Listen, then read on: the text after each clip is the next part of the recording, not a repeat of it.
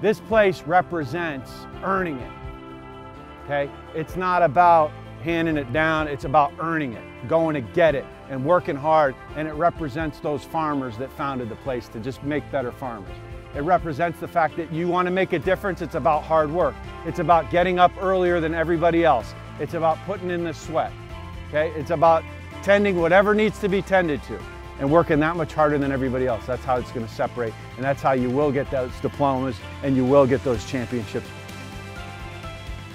So I hope you're all thankful for, for being here, being in this country, representing this university. You should all be thankful that we're sons and daughters of Storrs. All right? So happy Thanksgiving, everybody, and uh, go Huskies. Thank you.